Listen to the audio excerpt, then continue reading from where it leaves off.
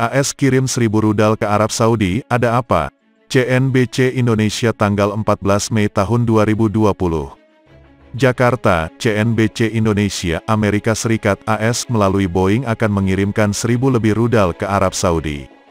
Rudal tersebut bukan hanya jenis Air to Surface ASM, tapi juga anti-ship misil ASHM.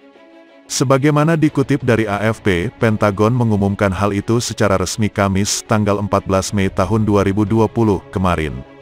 Boeing, perusahaan pembuat pesawat asal AS itu mendapat kontrak senilai 2 miliar dolar untuk pengiriman ini.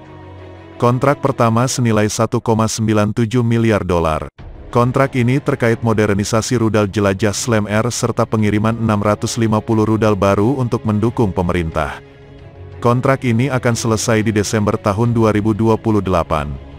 Slam Air atau AGM-84HK adalah rudal jelajah canggih yang dibuat Boeing Defense Space dan Security untuk Angkatan Bersenjata AS dengan jangkauan hingga 290 km.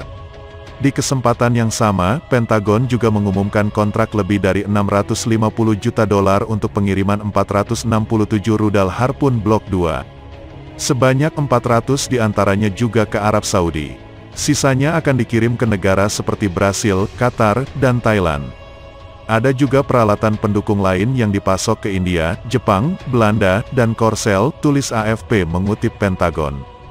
Sementara itu, Boeing mengatakan memang memulai kembali produksi Slam Air.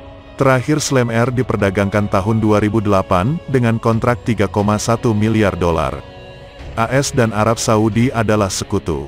Bahkan AS mengamankan sejumlah objek vital minyak Saudi dari sejumlah gangguan, termasuk kelompok pemberontak.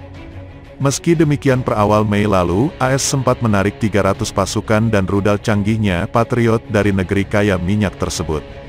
Dari sumber, AS melakukan hal tersebut karena menilai situasi keamanan Saudi sudah lebih kondusif dan tak akan ada gangguan dari lawan di kawasan yang dirujuk AS ke Iran.